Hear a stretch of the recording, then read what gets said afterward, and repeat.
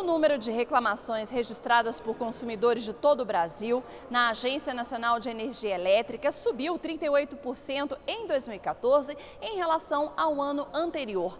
Ao todo, foram registradas cerca de 121 mil queixas relacionadas à prestação de serviços. Os dados são da Ouvidoria Setorial da Agência Reguladora e a divulgação deles tem o objetivo de melhorar a qualidade dos serviços prestados e também o relacionamento entre entre consumidores de energia elétrica, distribuidoras e a agência reguladora. As informações se referem a 63 distribuidoras de energia elétrica de todo o país. Para ver os dados consolidados, nacional e regionalmente, acesse o site da ANEEL.